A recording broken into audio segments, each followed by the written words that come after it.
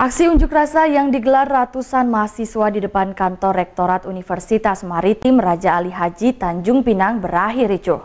Dalam aksi tersebut, polisi mengamankan tiga mahasiswa karena dianggap provokator.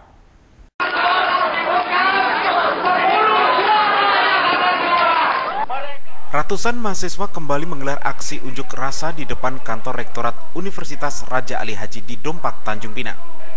Aksi unjuk rasa berlangsung ricuh setelah petugas keamanan kampus yang berusaha memadamkan ban yang dibakar.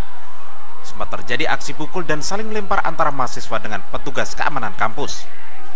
Namun karena jumlah mahasiswa jauh lebih banyak, petugas keamanan kampus yang kewalahan menghadapi pendemo terpaksa mundur dan membiarkan aksi terus berlanjut.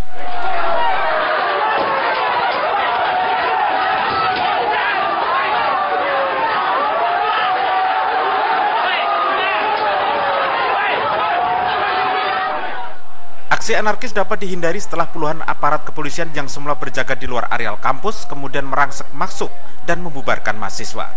Tak hanya itu, polisi juga mengarahkan beberapa terkanan dan pasukan anti huru hara. Sempat terjadi aksi saling dorong antara mahasiswa dengan pihak kepolisian. Dalam insiden ini, polisi mengamankan tiga mahasiswa karena dianggap provokator saat terjadi kericuhan. Aksi unjuk rasa ratusan mahasiswa umrah ini dilakukan untuk menuntut pertanggungjawaban rektor umrah atas beberapa kasus dugaan korupsi di lingkungan kampus. Selain meminta bertanggung jawab, mahasiswa juga menuntut rektor umrah, Profesor Safrir Ahlus, untuk mundur jika tuntutan mereka tidak dipenuhi.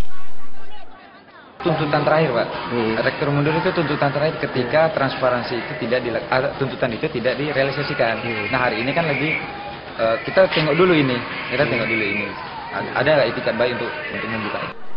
Aparat kepolisian yang membubarkan pengunjuk rasa kemudian dapat mengendalikan situasi dan kondisi kampus Umrah kembali kondusif. Dari Tanjung Pinang, Humalana Sution, Ainews melaporkan.